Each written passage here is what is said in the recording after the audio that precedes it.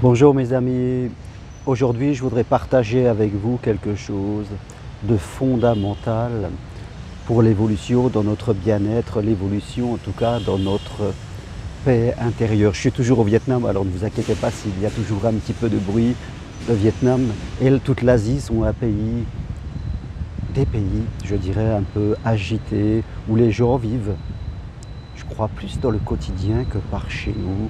Ils sont moins dans l'organisation, une autre philosophie de vivre. Et justement, c'est ça que j'ai envie de, parler, de, partager avec vous. Je crois que dans notre éducation, euh, on nous intègre dans notre cerveau un petit genre de petit logiciel comme ça, où euh, se développe l'idée que dans la vie, il faudrait tout organiser, tout penser, euh, quelque part, tout prévoir et une fois que tout serait prévu, tout pensé, notre vie pourrait se dérouler, euh, je dirais, dans toute euh, une sécurité qui serait rassurante. On a ce besoin complètement dingue à l'intérieur de nous, cette nécessité de toujours prévoir ce qui va venir devant nous, de toujours avoir, en tout cas, cette assurance, le besoin de se rassurer.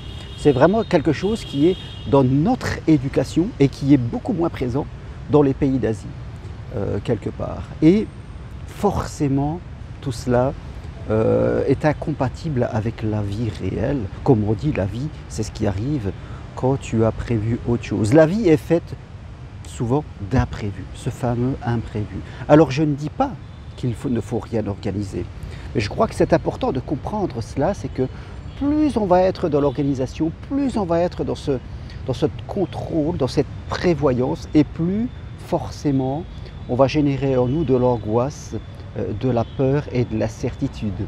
Parce que, fin compte, ça va peut-être nous rassurer un petit peu dans un certain côté, mais on sera toujours dans la crainte de perdre ce que l'on a perdu, on sera toujours dans la crainte qu'il arrive quelque chose justement d'imprévu, et on ne sera pas du tout dans les facultés d'adaptation.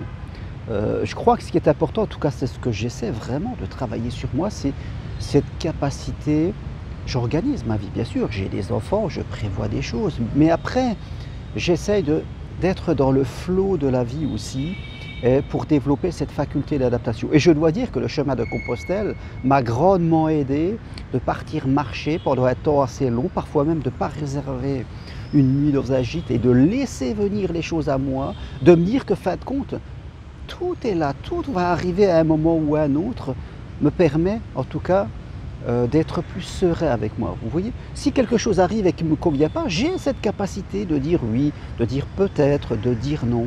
je suis le maître de ma destinée et forcément autour de moi, il va se passer des choses qui seront différentes de mes prévisions, différentes de mon imagination. Et c'est cela qui va me permettre, en tout cas moi, de piloter, de choisir vraiment entre ce qui est bien pour moi et pas bien pour moi.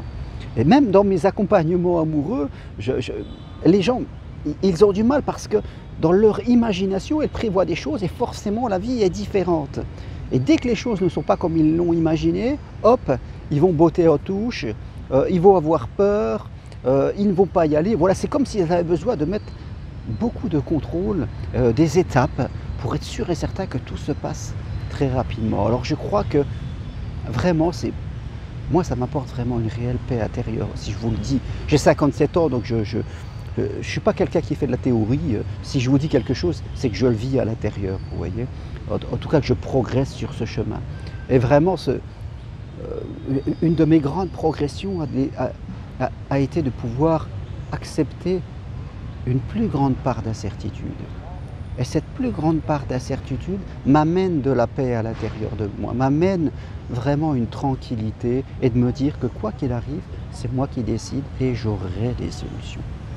Euh, et c'est pour ça que j'emmène des gens marcher sur le chemin de Compostelle avec moi, parce que plusieurs jours, c'est important de faire ça plusieurs jours pour pouvoir intégrer cette idée que, fin de compte, on aura les solutions, que quoi qu'il arrive, on sait s'adapter. Nous sommes des êtres humains, tout autour de nous est là pour nous apporter des solutions. Et si on reste ouvert ainsi, voilà, des solutions qu'on ne peut pas prévoir vont arriver au travers de personnes, de possibilités, de synchronisation. Donc, vraiment, fixez-vous votre, comme objectif d'évoluer dans votre acceptation de, euh, je dirais, euh, une plus grande dose d'incertitude. Et la certitude n'est pas à sécurité, ça n'a rien à voir. La certitude, c'est la synchronisation avec tout ce qu'il y a autour de nous. Et vous verrez que votre vie et vos émotions vont complètement se transformer. Voilà, venez marcher avec moi sur le chemin de Compostelle. Prochaine marche du 9 au 12 avril. Inscrivez-vous dès maintenant, comme ça vous vous préparez. Niveau débutant. Et il y a d'autres dates, regardez-les sur mon site germerocari.com. Venez avec moi suivre une formation professionnelle pour devenir coach ou psychopraticien. Vous cherchez l'amour.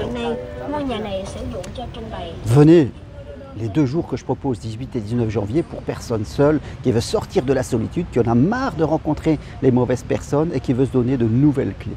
Voilà, tout ça sur mon site germerocard.com. Allez vers votre incertitude. Ascertitude égale synchronisation. Et vous verrez que là, votre vie va changer. C'est le moment de le faire pour vous. Merci, à bientôt. Au revoir.